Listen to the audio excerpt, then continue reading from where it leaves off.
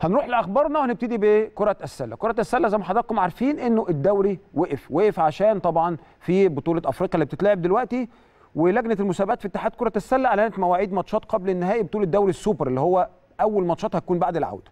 للرجال الموسم اللي إحنا فيه وهتكون مواعيدها 6 و8 و10 و12 14 6 القادم شهر 6 يونيو القادم. الماتشات المفروض هتتلعب على صاله استاد برج العرب بمدينة اسكندرية. هو في العادي كانت بتتلعب في آه، أكتوبر ولكن اتنقلت في استاد برج العرب وده ما فيش مشكلة خالص. آه، صالة مغطاة برضو آه، آه، جيدة وممكن نلعب عليها. الأهلي لعب ماتشين وديين خلال الفترة اللي توقف لعب على الجزيرة ما حضراتكم عارفين كسبنا أول ماتش وخسرنا الثاني ولكن مش دي المهم النتيجة لأن النتيجة ما بتهمش الطرفين.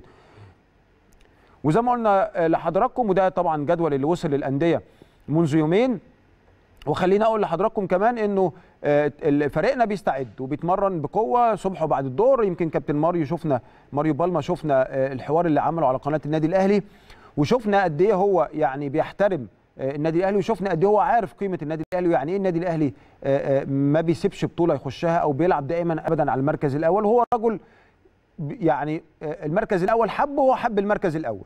مفيش فرقة راح مسكها لما الحمد لله صعد بيها للأدوار النهائية وخد بيها البطولة. يمكن أنا لعبت قصاده في أنجولا لما كان ماسك منتخب أنجولا يمكن لعبت ست أو سبع سنوات منتخب مصر ولعبت ضده في ألعاب أفريقية وأمم أفريقية وماتشات ودية في أوروبا لعبت معاه. ولما راح الأردن كذلك ولما راح تونس كذلك فهو كل كل المنتخبات اللي راحها نجح في التأهل للأولمبياد أو نجح بيهم للتأهل لكأس عالم وأيضا آه، فرق ال- البرتغالية اللي مسكها نجح في حصول الدوري آه، بطولة الدوري معاهم. فالراجل اتكلم إنه بيستعد وإنه بيعمل اللي عليه. قال طبعا المكسب والخسارة بتاعت ربنا ولكن أنا هوعد الجمهور إن أنا أعمل اللي عليا وزيادة. هننتظر طبعا الماتشات دي. أنتوا عارفين ان إحنا هنلاعب الاتحاد السكندري في قبل النهائي والجزيرة هيلاعب الزمالك آه، في قبل النهائي طرفي النهائي اللي قبل النهائي الثاني وهيبقى best of five يعني اللي هيكسب ثلاث مباريات هيتأهل. الماتشات مش سهلة الماتشات قوية ويعني يمكن ما كانش في وقت coach ماريو آه، يقدر يعرف ال- ال- الدنيا فيها إيه أو يقدر يشتغل شغل ولكن هو بيبني على coach أشرف أو شغل coach أشرف توفيق المدرب السابق على طول. ونتمنى له كل التوفيق وهننتظر الماتشات دي إن شاء الله بفارغ الصبر وكل الدعم لفرقتنا بإذن الله.